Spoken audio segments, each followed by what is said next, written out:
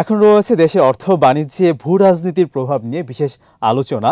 আর আলোচনার জন্য আমাদের সঙ্গে যুক্ত হচ্ছেন ফ্রিল্যান্সার সাংবাদিক, শিক্ষক ও গবেষক আসিফ বিন আলী। জনাব আসিফ বিন আলী, আপনাকে স্বাগত একুশে বিজনেস। জানানোর জন্য। ধন্যবাদ। আমরা জানি যে আমাদের ব্যবসায়ীরা বিভিন্ন ধরনের চ্যালেঞ্জ আসলে ফেস করছে। স্থানীয় বৈশ্বিক অনেক চ্যালেঞ্জ আমরা জানি যে স্থানীয়ভাবে ডলার ক্রাইসিস এসি খুলতে সমস্যা হওয়া ব্যাংকে সুদ ঋণের সুদের হার বেড়ে যাওয়া, অনেক ধরনের ক্রাইসিস আজকে আমরা এই ক্রাইসিস আমরা ক্রাইসিস নিয়ে কথা বলতে চাই বৈশ্বিক ক্রাইসিস তো বৈশ্বিকভাবে আসলে কীভাবে দেখছেন আমাদের যে পার্শ্ববর্তী দেশ, আরও যেই বড় দেশগুলো, তাদের সাথে আমাদের ব্যবসা বাণিজ্যের কী অবস্থা ভবিষ্যৎটাকে কীভাবে দেখছেন, সার্বিকভাবে জানতে চাই এবং শুরুটা করতে চাই আমাদের নিকটবর্তী দেশ ভারতের সাথে আমাদের এই মুহূর্তের ব্যবসা বাণিজ্যে কী অবস্থা ভবিষ্যৎকে কীভাবে দেখছেন বয়কট ইন্ডিয়া নামে একটা প্রচারণা আমরা দেখতে পাচ্ছি, সেটার প্রভাবটাকে আপনি কীভাবে দেখছেন একটু জানতে চাই আমরা। ধন্যবাদ আপনার প্রশ্নের জন্য। প্রথমত হচ্ছে যে ভারত বাংলাদেশের বাংলাদেশের যে মেজর বাণিজ্য পার্টনারগুলো রয়েছে ভারত, মার্কিন যুক্তরাষ্ট্র ইউনিয়ন তাদের মধ্যে একটা দেশ আমরা ওভার দ্য টাইম দেখতে পেয়েছি যে ভারতের সাথে বাংলাদেশের যে বাণিজ্যিক সম্পর্ক, এই সম্পর্কে ভারত সবসময় একটা আপার হ্যান্ডে থেকেছে। অর্থাৎ আমরা ভারত থেকে যা রপ্তানি করি আর আমরা ভারতে যা পাঠাতে পারি, এই দুইয়ের যে পার্থক্য, এটা অনেক বেশি। অ্যাকচুয়ালি স্বাধীনতার পরে অলমোস্ট আমাদের চল্লিশ বছর লেগে গিয়েছিল ভারতে আমাদের পণ্য পাঠানোর পরিমাণ এক বিলিয়ন ডলারের নিয়ে আসার জন্য। অন্যদিকে আমরা দেখতে পাচ্ছি যে ভারত আমাদের এখানে প্রায় চারশো বিলিয়ন ডলারের ব্যবসা করে চলেছে। তো সেই দিক থেকে এখানে একটা আনইভেন কম্পিটিশন রয়েছে। কিন্তু আমাদেরকে যে জায়গাটাতে মাথায় রাখতে হবে সেটা হচ্ছে যে ভারতের পণ্যের উপরে বাংলাদেশ অনেকাংশেই নির্ভরশীল।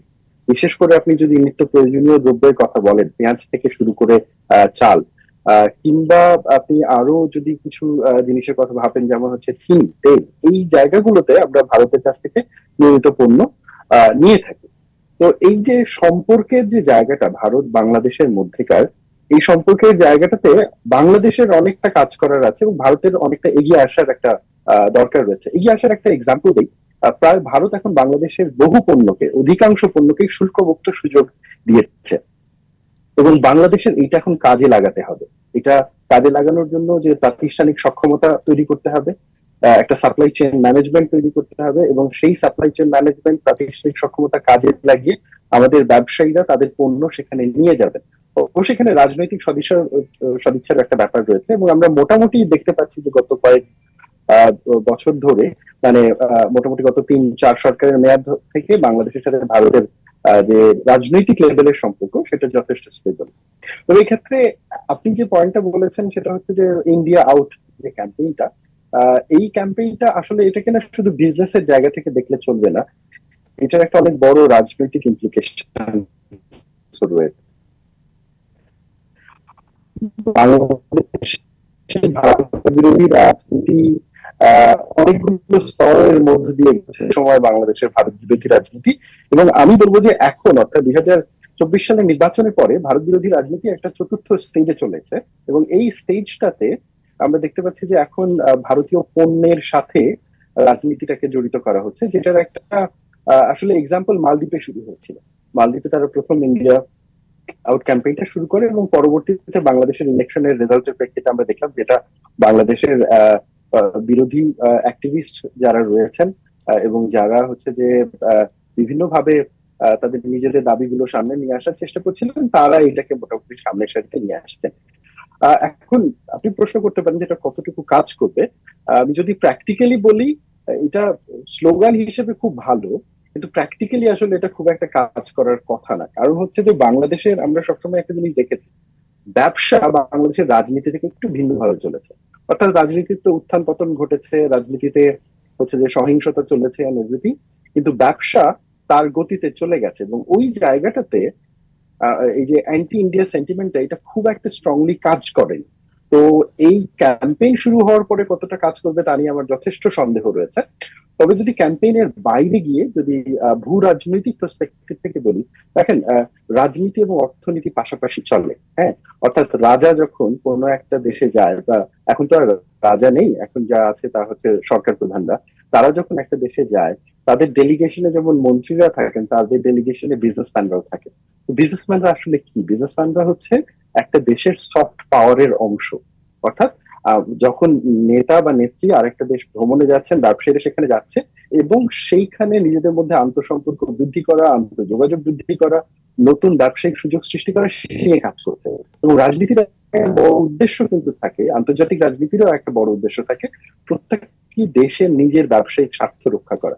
তো আমরা যদি সেই দিক থেকে ভাবি তাহলে বলব যে ভারত বাণিজ্যের ভারত বাংলাদেশ বাণিজ্যের সম্পর্কের ক্ষেত্রে বাংলাদেশ এবং ভারতের সম্পর্কে যথেষ্ট উন্নতি ঘটেছে এবং এই উন্নতির প্রেক্ষিতে যে শুল্ক মুক্ত সুবিধা ভারত থেকে পাওয়া গেছে এইটাকে বাংলাদেশের ব্যবসায়ীদেরকে কাজে লাগাতে হবে। একটা হচ্ছে যে ইন জেনারেল কমপ্লেইন করা যেটা হচ্ছে যে মানে ভারত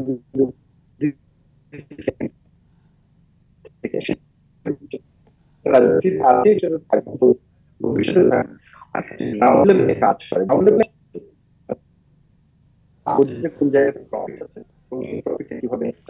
জনাব আসিফ আলী আমরা আপনাকে স্পষ্ট শুনতে পাচ্ছি না। আমি একটু জানতে চাই যে আপনি বাংলাদেশের সাথে ভারতের দ্বিপাক্ষিক বাণিজ্য নিয়ে বলছেন। একটু জানতে চাইব যে বাংলাদেশের সাথে চীন অথবা আমেরিকার যে দ্বিপাক্ষিক বাণিজ্য এটিকে কীভাবে দেখছেন? এর ভবিষ্যৎকে কীভাবে দেখছেন? আমাদের ভূ রাজনীতি অর্থনৈতিক কূটনীতিটাই কীভাবে প্রভাব ফেলতে পারে দুই দেশের বাণিজ্যে, যদি একটু বলেন আমাদেরকে। আসিফ বিন আপনি আমাকে শুনতে পাচ্ছেন?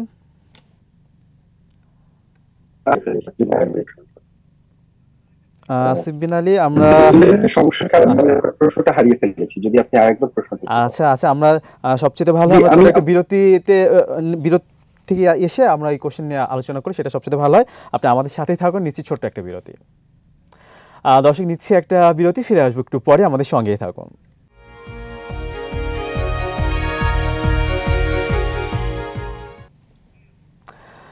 আমরা আমন্ত্রণ শিল্পীদের সঙ্গে আছি রহমান রণ। দর্শক, বিরতির আগে দেশের অর্থ বাণিজ্যে ভূ রাজনীতির প্রভাব নিয়ে আমরা আলোচনা করছিলাম ফ্রিল্যান্সার সাংবাদিক, শিক্ষক ও গবেষক আসিফ বিন আলীর সঙ্গে।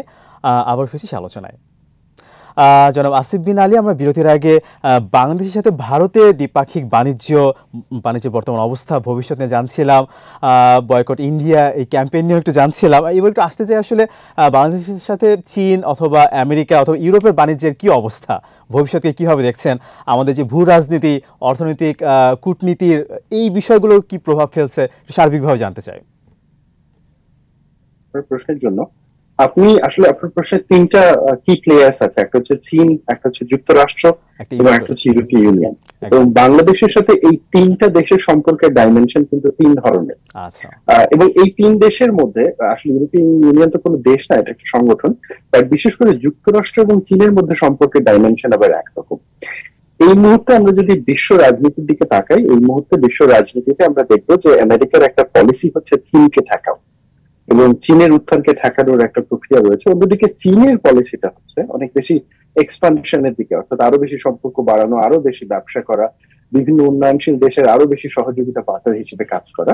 তো এই গ্লোবাল রাজনীতির এই ক্ষেত্রটা কিন্তু আমাদের দেশের যে লোকাল অর্থনৈতিক কন্টেক্স পলিটিক্স এর কন্টেক্স সেটার সাথেও জড়িত রয়েছে।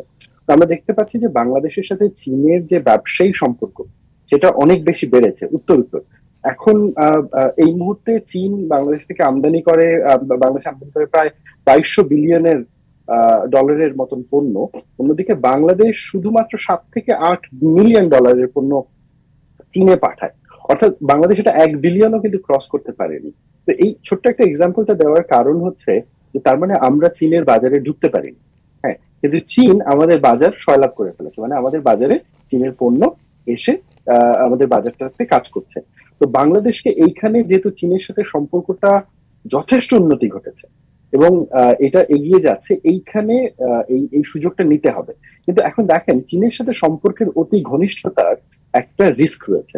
রিস্কটা কোথায়? সেটা হচ্ছে যে যুক্তরাষ্ট্র যেহেতু চীনের উত্থানকে একটু থামানোর জন্য স্লো করার জন্য তার ফরেন পলিসির একটা অংশ, সেই ক্ষেত্রে কিন্তু যুক্তরাষ্ট্র অত্যন্ত সতর্কভাবে বাংলাদেশের সাথে চীনের যে সম্পর্ক সেটার উপরে নজর রাখে।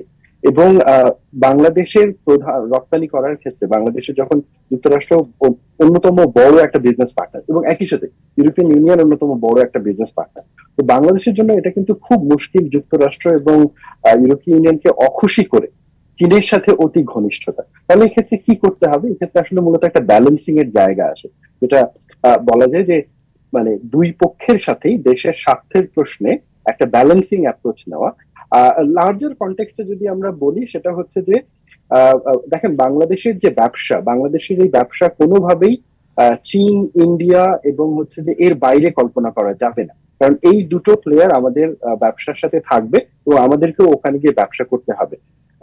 এ বিষয়ে কোনো সন্দেহ নেই যে বাংলাদেশ, ইউরোপের এবং যুক্তরাষ্ট্রের মার্কেটে থেকে অনেক বেশি ফরেন কারেন্সি দেশে নিয়ে আসছে। কিন্তু আমার আমি দুটো তথ্যে আগের প্রশ্নে এবং এই প্রশ্নে বললাম, আমরা এখন পর্যন্ত ইন্ডিয়ান মার্কেটে পুরোপুরি ঢুকতে পারিনি। যদিও আমাদের সেখানে শুল্ক মুক্ত সুবিধা রয়েছে। আমরা এখন পর্যন্ত চীনের মার্কেটে পুরোপুরি ঢুকতে পারিনি, কারণ সেখানে আমাদের সাতানব্বই শতাংশ পণ্যের শুল্ক মুক্ত সুবিধা রয়েছে। এই যে দুটো বড় বাজার, এই দুটো বড় বাজারের দিকে এখন আমাদেরকে নজর দিতে হবে। কারণ বাংলাদেশ যখন ডেভেলপিং কান্ট্রির দিকে আরও এগিয়ে যাবে, আর একটু সামনে গিয়ে, তখন কিন্তু পশ্চিমে আমাদের যে শুল্ক মুক্ত সুবিধাগুলো রয়েছে এগুলো কিন্তু কমে যাবে ধীরে ধীরে।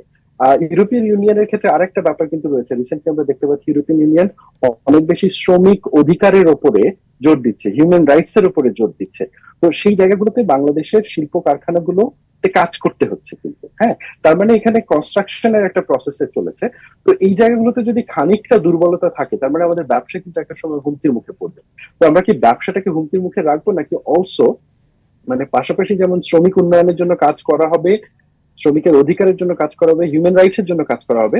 পাশাপাশি আমাদের ব্যবসায়ীরা এই যে দুটো আনএক্সপ্লোর্ড মার্কেট ইন্ডিয়া এবং চায়না এই দুটো মার্কেট এক্সপ্লোর করবে। এবং সেইখানে আমাদের পণ্য, আমাদের ব্যবসায়ীরা তাদের পণ্য বিক্রি করে এবং দেশের জন্য অত্যন্ত মূল্যবান ফরেন কারেন্সি নিয়ে আসতে পারবে। তো এই এই জায়গাটা মাথায় রাখাটা খুব জরুরি। তবে এক্ষেত্রে একটা জিনিস মানে দৃষ্টি আকর্ষণ করতেই হয়। অলরেডি বাণিজ্য মন্ত্রণালয় এক্ষেত্রে অনেকগুলো উদ্যোগ নিয়ে কাজ করছে।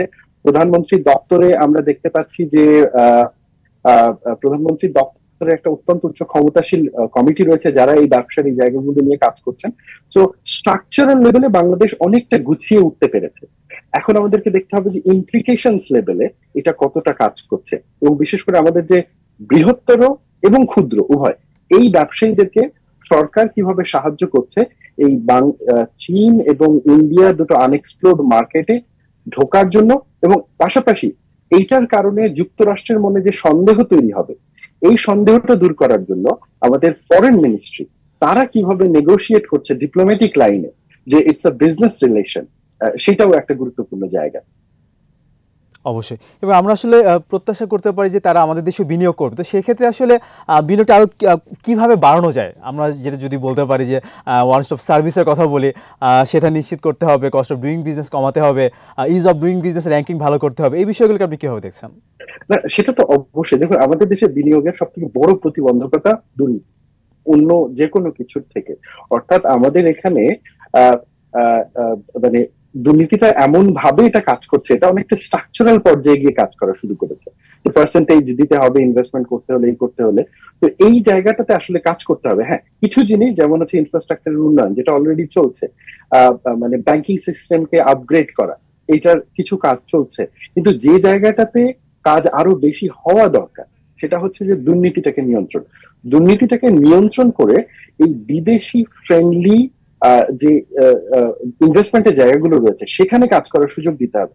কারণ দেখেন, একটা সময় পর্যন্ত আমাদের পলিসি অনেক বেশি ন্যাশনাল রিজার্ভের পলিসি ছিল। অর্থাৎ আমরা আমাদের মার্কেটকে বন্ধ করে রাখছিলাম বাইরের ইনভেস্টমেন্টকে আমরা খুব একটা অতটা প্রায়োরিটির দিকে দেইনি। কিন্তু আমরা এখন গ্লোবাল ইকোনমিক মার্কেটের মধ্যে রয়েছি এবং এইখানে আমার দেশের ব্যবসায়ীদের যেমন সক্ষমতা বাড়াতে হবে, অন্য দেশে গিয়ে ইনভেস্ট করার এবং সেখান থেকে প্রফিট নিয়ে আসার ঠিক একই রকম ভাবে অন্য দেশের ব্যবসায়ীরাও এখানে এসে ইনভেস্ট করবে এবং এখান থেকে প্রফিট মেক করবে এবং যেটা তারা খানিকটা এখান থেকে প্রফিট নিয়েও যাবে। But at the same time এখানে যে বাইরের থেকে মানিগুলো আসছে, সেই টাকাটা এখানকার সমাজে, এখানকার শ্রমিকদের ভেতরে, এখানকার যারা এডুকেটেড ক্লাস রয়েছে, তাদের ভেতরে একটা ফ্লো তৈরি করবে। তো এই যে মিউচুয়াল আন্ডারস্ট্যান্ডিং এর জায়গাটা এখানে কাজ করাটা খুব জরুরি। এবং এখানে কিন্তু আসলে ভূ রাজনীতির কথাটা বারবার আসছে। ভূ রাজনীতির ক্ষেত্রে রাজনীতি শব্দটা তো আছে, তো রাজনীতিতে কিন্তু মানসিকতা পরিবর্তনের একটা দরকার রয়েছে। এবং রাজনৈতিক মানসিকতা আমাদের মোটামুটি রুলিং ক্লাসের মধ্যে, যারা দেশের পলিসি বানান অ্যাডমিনিস্ট্রেশনে তারা এটা অনেকটাই কিন্তু এইভাবেই এগোচ্ছেন, অর্থাৎ অনেক পজিটিভলি এগোচ্ছেন।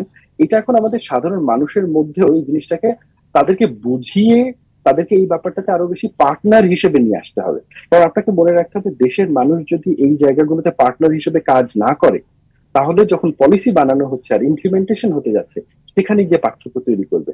তো আমাদের একজন কর্মকর্ত যখন দুর্নীতি করছেন এই ক্ষেত্রে, তখন তাকে আমাদেরকে দেখতে হবে যে সে হয়তো বা একশোটা টাকা একটা জায়গা থেকে পাচ্ছে, কিন্তু এটা একশো জন শ্রমিকের কাজ বন্ধ করে দিচ্ছে। এই এই যে ন্যাশনাল লেভেলের যে মোরাল একটা গ্রাউন্ড এটা তৈরি করার কাজও কিন্তু রাজনীতিবিদদের। তো আমি ব্যাপারটাকে এভাবে সামারাইজ করব যে বাইরের ইনভেস্টমেন্ট আমাদের দরকার এবং একই সাথে আমাদেরকেও বাইরে গিয়ে এক্সপ্লোর করতে হবে। অবশ্যই। কারণ হচ্ছে যে এই দেখেন আর যাই হোক আপনার যদি সম্পদ না বাড়ে আপনার যদি মূলধন না বাড়ে তাহলে আপনি বিশ্ব ব্যবস্থায় আপনি অলওয়েজ একটা ব্যাকওয়ার্ড কান্ট্রি হিসেবে থেকে যাবেন। ওই জায়গাটাতে আমাদেরকে মাথায় রাখতে হবে। অবশ্যই আমরা একদম শেষ পর্যায়ে একটু ছোট করে জানতে চাই আমাদের অর্থনীতি বড় হচ্ছে এগিয়ে যাচ্ছে। তো টেকসই অর্থনীতিকে ধরে রাখতে আসলে কি করা উচিত সামাজিকভাবে রাজনৈতিকভাবে? দেখুন আমাদের অর্থনীতি নিঃসন্দেহে বড় হচ্ছে। আমাদের এবং হচ্ছে যে আমরা দেখতে পাচ্ছি মাথা পিছু আয়ও বেড়েছে। হ্যাঁ কিন্তু এখানে কিছু ক্যাভিয়েটও রয়েছে। অর্থাৎ আমাদের যে আড়াই হাজার ডলারের মাথা পিছু আয়ের কথা বলা হচ্ছে সেটা আসলে আয়ের বন্টনের ক্ষেত্রে আমরা বৈষম্য দেখতে পাচ্ছি। আমি সিপিডির একটা স্টাডি দেখছিলাম এবং সেখানে দেখছিলাম যে আমাদের বন্টন সূচকে, আমাদের আগে বন্টন সূচক যেটা শূন্য দশমিক ছিচল্লিশ শতাংশ ছিল দুই হাজার ষোলো সালের দিকে, ষোলো সালের আগে, আহ, এখন এটা মাত্র শূন্য দশমিক আটচল্লিশ শতাংশ। তার মানে আমাদের মাথা পিছু অনেক বেড়েছে।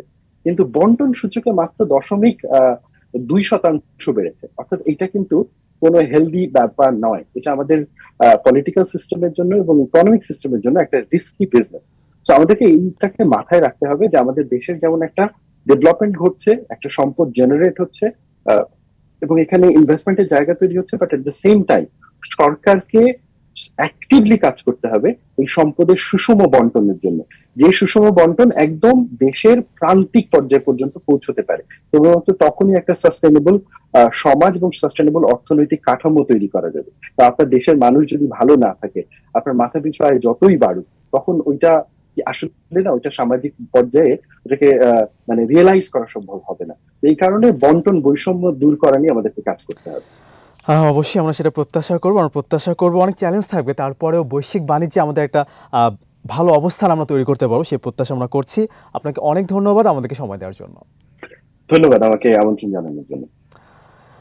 দর্শক এতক্ষণ দেশে অর্থ বাণিজ্যে ভূ রাজনীতির প্রভাব নিয়ে আমরা কথা বলছিলাম। ফ্রিল্যান্সের সাংবাদিক শিক্ষক ও গবেষক আসিফ বিন আলীর সঙ্গে। দর্শক নিচ্ছি আরও একটা বিরতি। বেলা দুইটা পঁয়ত্রিশ মিনিটে আবারও ফিরে আসবে একটু বিজনেসে আরও আয়োজন নিয়ে। আমাদের সঙ্গেই থাকুন।